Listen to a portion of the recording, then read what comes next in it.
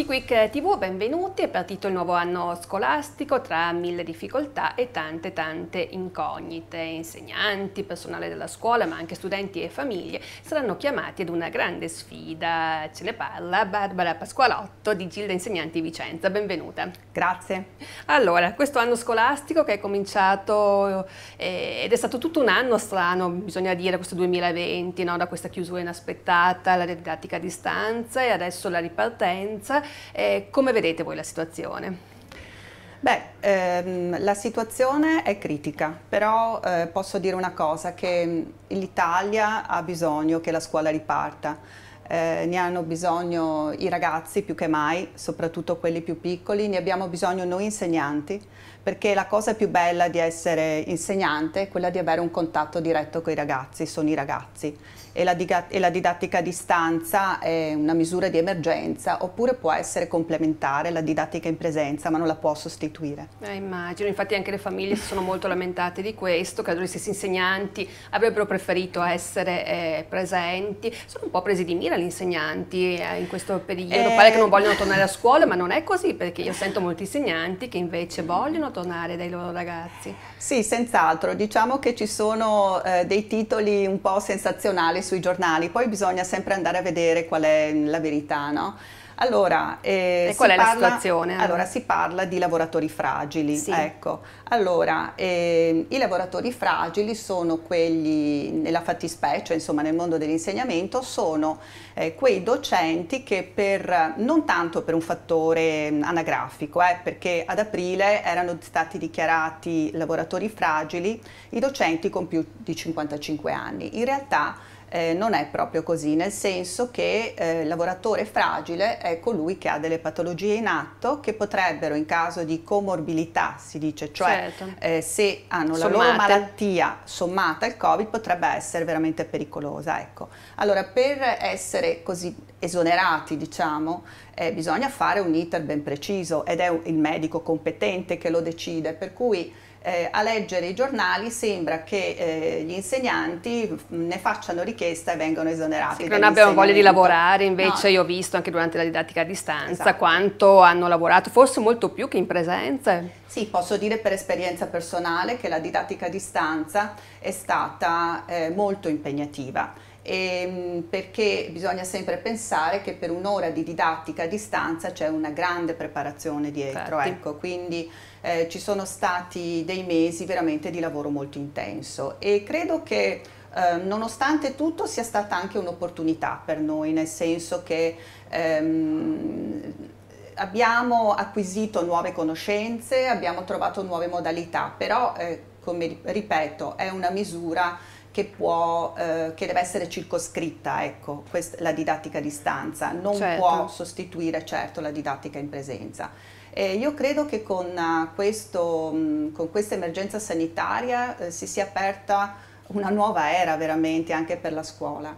Eh, e mh, purtroppo attualmente abbiamo tante incertezze davanti e tante paure, ecco, però ehm, quali sono i problemi principali che la scuola deve affrontare e che ruolo deve anche recuperare la scuola?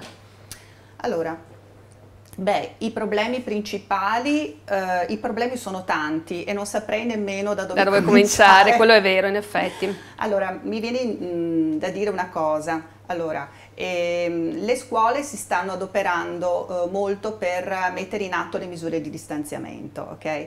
Allora, ehm, alcune eh, scuole che sono magari più piccole, che hanno più possibilità, che hanno più locali, eh, vedo ad esempio io insegno in un istituto comprensivo nella scuola media e eh, la nostra scuola non è grandissima e quindi siamo riusciti a distanziare bene gli alunni.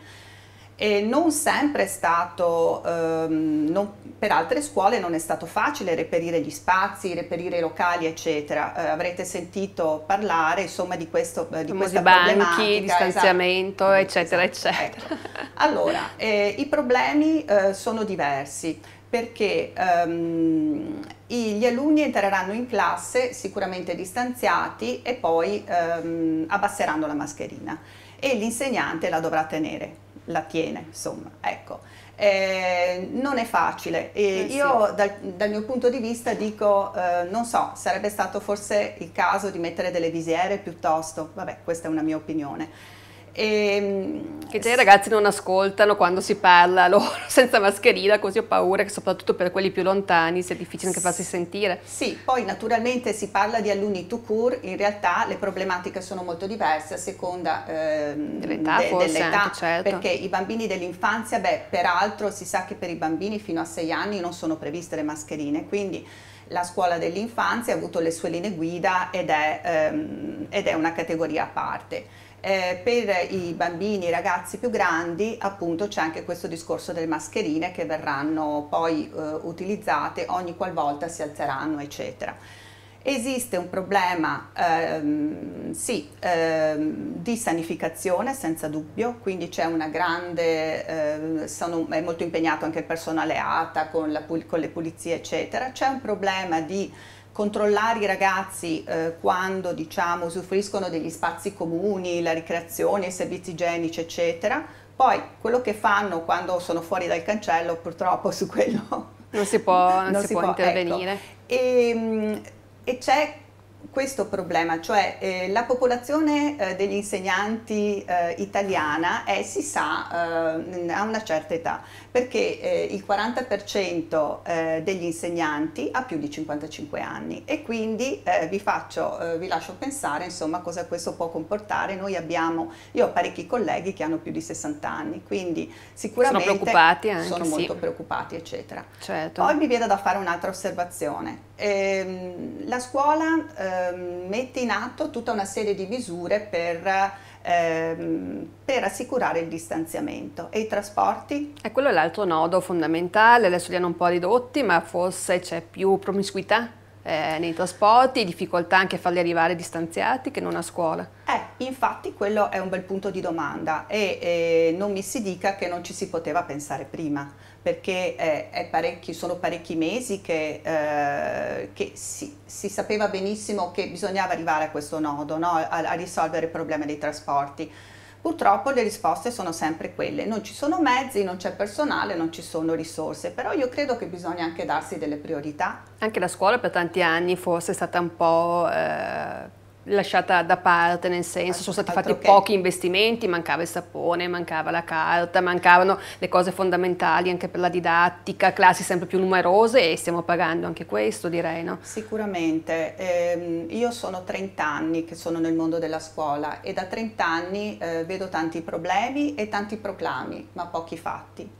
Cioè eh, bisogna veramente ehm, decidere di investire nella scuola e io mi, mi arrabbio abbastanza quando eh, sento, ehm, ad esempio anche i politici di tutti gli schieramenti che si riempiono sempre eh, la bocca di questa parola. La scuola, la scuola è il nostro futuro, bisogna pensare ai giovani, bisogna investire, eccetera. Però poi di fatto Uh, non, abbiamo visto, uh, non abbiamo visto nessuna, nessun investimento nessun importante. Investimento. Infatti, certo. saprete benissimo che noi in Italia siamo tra il fanalino di coda dell'Europa per l'investimento nella pubblica istruzione. Allora le riforme a costo zero non si possono fare, bisogna veramente darsi delle priorità, bisogna investire nella scuola, bisogna investire uh, negli insegnanti, bisogna dargli dignità, bisogna dargli un lavoro eh, bisogna dargli formazione, un lavoro ben retribuito, bisogna ridargli la voglia di insegnare, bisogna togliergli un po' di, di scartoffie, di, uh, burocrazia. di burocrazia, perché guardate che anche la didattica a distanza ha comportato un aggravio burocratico per noi, non certo. da poco.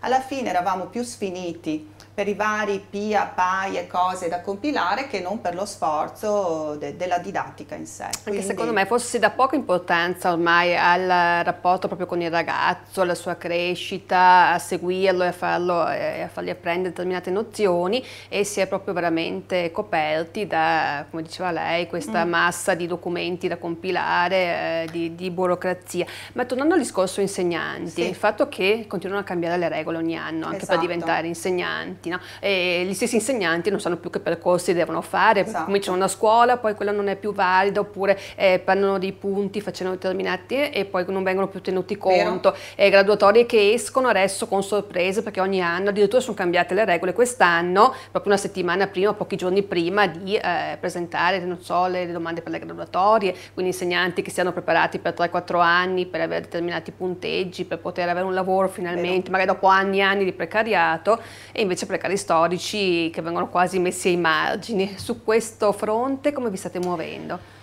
Allora, ehm, il reclutamento è un problema molto grave nella scuola italiana, un problema annoso. Io ripeto, insegno da tanti anni e ho visto avvicendarsi mh, mille modi di reclutamento diversi. Allora bisogna veramente finirla, bisogna eh, dare dei percorsi chiari e bisogna rendere il mestiere dell'insegnante più allettante anche per i giovani. È ancora allettante oggi fare l'insegnante? È ancora allettante, ehm, non tanto secondo me è che il mercato del lavoro comunque in generale è, è, è, ha molte criticità in, in, Italia, per cui vedo che molti giovani um, si buttano sull'insegnamento, ma non credo che tutti lo facciano per scelta, credo che, eh, che sia diciamo, una delle molte opportunità che loro prendono in considerazione. Io eh, sono laureata in tedesco, insegno in tedesco e vedo che, eh, tedesco, e vedo che ad esempio in Germania il lavoro di insegnante è, è ehm, piuttosto ambito dai ragazzi, questo perché è intanto ben retribuito e anche perché eh, i percorsi sono chiari, le, la, la vocazione dell'insegnante si matura già all'università eh, da noi mm, cioè, mm, tante volte forse un ripiego, non si trova altro, magari vado a insegnare qualche esatto. mese, vediamo cosa succede. Esatto, eh. eh vi, vi, racconto questo aneddoto perché è abbastanza buffo però è abbastanza emblematico. Una mia amica tedesca che mi dice ma com'è che da voi insegnano gli ingegneri, insegnano gli avvocati? Non è possibile, da noi se tu vuoi insegnare devi deciderlo già a 19 anni, no? Ecco, quindi Sicuramente bisogna eh, investire di più e, e tracciare dei percorsi, dei percorsi, chiari e ben definiti e certi, di modo che eh, un, se un giovane vuole andare a fare l'insegnante sappia cosa deve fare, quali sono gli ostacoli da superare, eccetera eh, più che mai questa confusione si è accentuata nell'ultimo periodo perché? perché in Italia c'è sempre questa cosa della, del, del, porre rimedio dello straordinario, concorso straordinario, è sempre tutto straordinario. Tutto straordinario purtroppo. E invece no? bisognerebbe fare o l'ordinario, lavorare bene sull'ordinario. E, in realtà quando si è cominciato a parlare di queste, di queste nuove graduatorie, del concorso straordinario, ordinario, eccetera, eh, pensate era l'aprile del 2019, ok?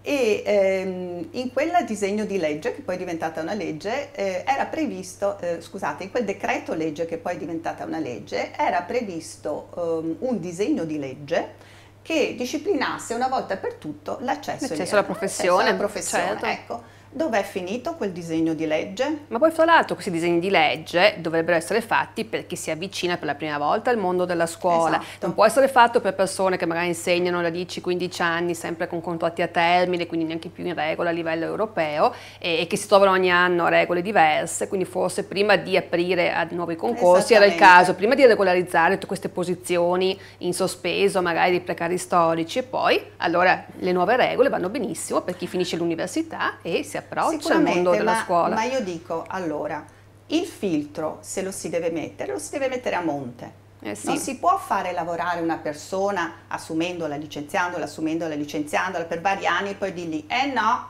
perché tu eh, devi fare questo concorso e quest'altro concorso. I programmi, I programmi dei concorsi, se voi li guardate, sono delle cose che c'entrano anche poco le volte es- con la professione. No, no, ma non esito a dire allucinanti, sì, perché sì, eh, le, le, competenze che sono richieste sono, sono, anche poco realistiche, cioè nel senso che vengono richieste delle competenze. Infatti. Cioè, in parte, eh, in parte lo, lo, capisco, giustificate, in parte veramente non lo so chi possa avere le competenze richieste dai concorsi. Poi Quindi, dovrebbero essere competenze allora date in fase di preparazione, in fase universitaria, in altre fasi, si danno già queste competenze che si sa sono fondamentali. Io faccio sempre l'esempio di come non è che in un'azienda una persona venga assunta, venga fatta lavorare con contratti a termine esatto. ogni anno per 15 anni, 20 anni e poi gli si dica adesso ti facciamo l'esame per vedere esatto. se puoi stare qua l'ultimo anno prima di andare in pensione, cioè non, sì, veramente un'assurdità. È vero che nell'insegnamento si entra per concorso, vabbè, però ad esempio in questo momento di eccezionalità in cui abbiamo così urgente bisogno di insegnanti,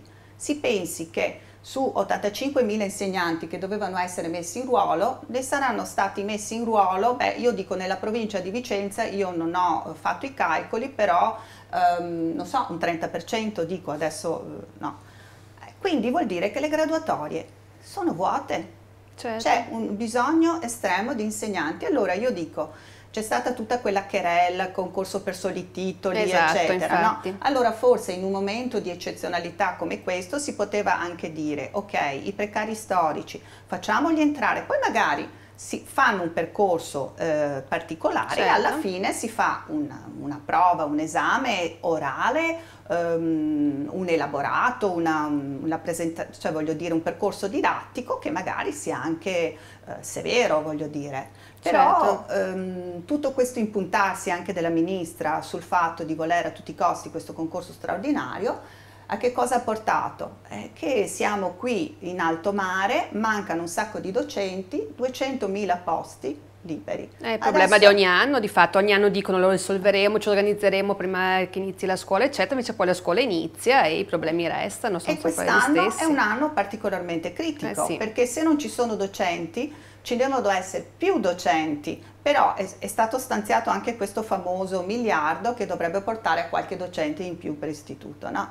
Però eh, ci devono essere, eh, voglio dire, anche i docenti da reclutare e preferibilmente dovrebbero essere reclutati a tempo indeterminato, perlomeno quelli che, voglio dire, hanno un'esperienza pluriennale, no? Eh sì, quindi, quindi sì, sì. Ehm, sì, non sono, io personalmente, io il mio sindacato, insomma penso qualsiasi persona di buon senso eh, non è sicuramente soddisfatta di come è stata gestita la questione del, del reclutamento e come è gestita non iniziamo nemmeno a parlare delle graduatorie delle supplenze perché dovremmo stare qui Dei qualche concorsi, oretta. Eh, infatti, e purtroppo eh, staremo qui veramente per ore a parlarne perché è molto interessante, ma magari ci vedremo in qualche prossima occasione Volentieri. e così approfondiamo qualche altro spunto argomento visto che sono così numerosi e non mancano. Sì. Intanto la ringrazio di essere Prego. stata con noi in questa puntata e per averci intanto introdotto eh, le varie problematiche sì. del mondo della scuola e, e ci riserveremo di rivederci in futuro. Appunto, Grazie a lei, grazie a voi. Eh, con voi e anche con altri poi esponenti dei diversi sindacati per capire anche come vi state muovendo, cosa farete per il futuro, eccetera, eccetera. Intanto vediamo come va quest'anno e un grosso in bocca al lupo. Incrociamo le dita per In bocca al lupo agli studenti, agli insegnanti e a tutto il personale della scuola e dai che vada bene, speriamo.